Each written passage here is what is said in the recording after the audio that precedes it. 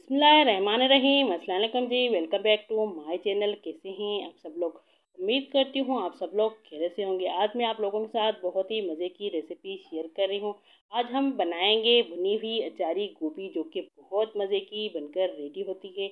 यकीनन आपने आलू गोभी तो खाए होंगे, मगर ये भी रेसिपी ट्राई करके देखें, बहुत ही मज़े की बनकर रेडी होती है। भुनी हुई अचारी गोभी बनाने के लिए मैंने यहाँ पर जी आधा किलो गोभी ले ली है। इसको मैंने अच्छे से वॉश कर लिया है। अब मैं इसको छोटे छोटे पीसेस में कट कर लूँगी। आपने भी इस तरह के छोटे छोटे पीसेस में कट कर लेना है। पहले गोभी को अच्छे से वॉश करना है, फिर इस तरह से छोटे छोटे पीसेस में कट कर लेना है। शामिल करेंगे हाफ़ कप कुकिंग ऑयल का। वन टीस्पून सफ़ेद ज़ीरा भी शामिल करेंगे। इससे बड़े ही मज़े का टेस्ट आता है। एक अदद मीडियम साइज़ की प्याज शामिल करेंगे, जिसको मैंने कद्दूकश कर लिया था। आपने भी इस तरह से कद्दूकश कर लेना है। टू टीस्पून हम अदरक लहसुन का पेस्ट भी शामिल करेंगे, जिससे बड़े ही मज़े का टेस्ट आएगा अचारी गोभी में। प्याज को लाइट ब्राउन होने तक अच्छे से हम पकाएँगे।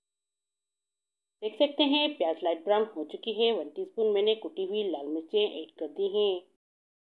वन टीस्पून पिसी हुई लाल मिर्चें भी शामिल करेंगे। हाफ़ टी स्पून हल्दी पाउडर भी शामिल करेंगे। वन टीस्पून नमक शामिल करेंगे।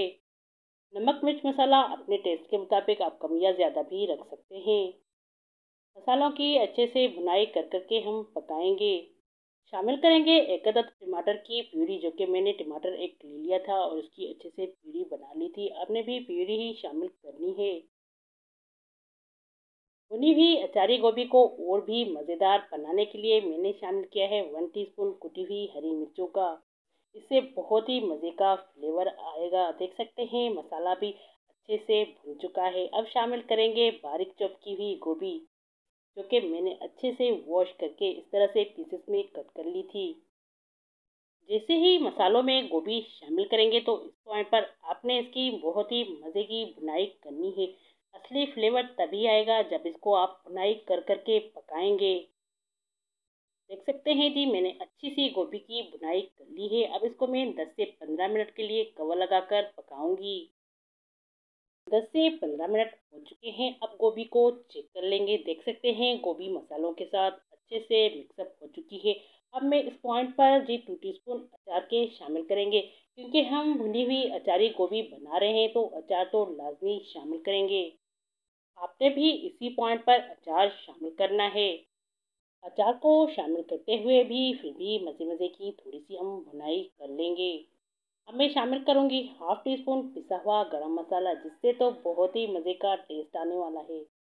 गोभी को मज़ीद और गलाने के लिए हम थोड़ा सा पानी शामिल करेंगे। आपने भी इसी पॉइंट पर थोड़ा सा पानी शामिल कर लेना है।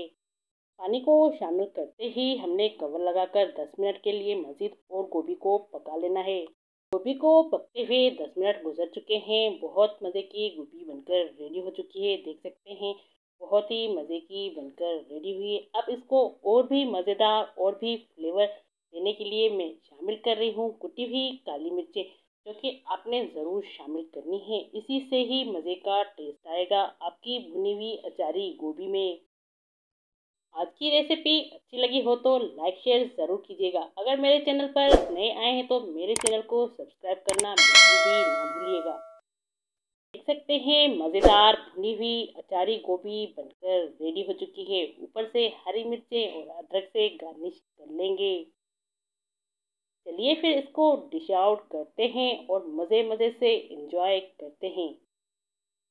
इसके साथ ही मैं लूँगी। आपसे इजाज़त। बहुत सारी दुआओं में हमेशा की तरह याद रखिएगा। फिर किसी दिन हाजिर होंगे किसी और नई रेसिपी के साथ। तब तक के लिए अल्लाह हाफिज़।